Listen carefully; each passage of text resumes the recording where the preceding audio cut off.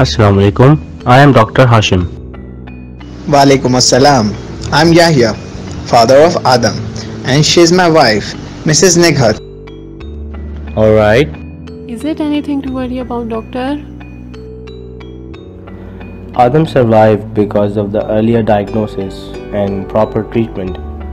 I researched and I found that there is a parasite called Naegleria fowleri, also known as brain-eating amoeba.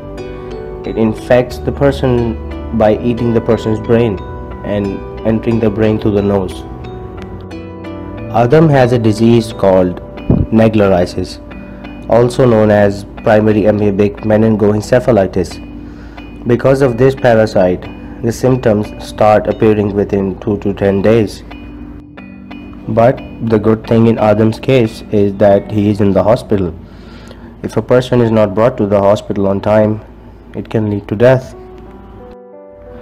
He will get an antifungal treatment. With this treatment, his condition will stabilize.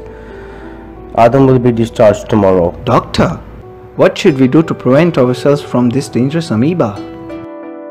Yes, there are some preventive measures that you should know, like avoid swimming in shallow water thoroughly heated by the sun. If someone feels the symptoms of nausea, vomiting, headache, stiff neck, loss of balance, they should immediately consult a doctor for diagnosis. At an early stage, treatment is possible. Plug your nose while swimming or diving. You should avoid putting your head under water in hot springs and other untreated thermal waters.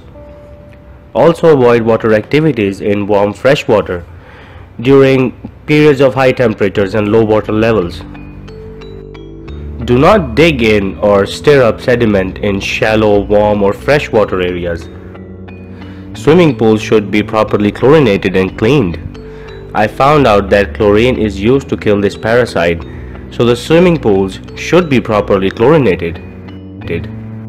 Son, you should aware your friends about this disease. Yes, Baba. I am already trying to aware everyone. I made an awareness page on different social sites so that everyone could know about this dangerous disease. I don't want anyone to experience this painful situation like the one I gone through.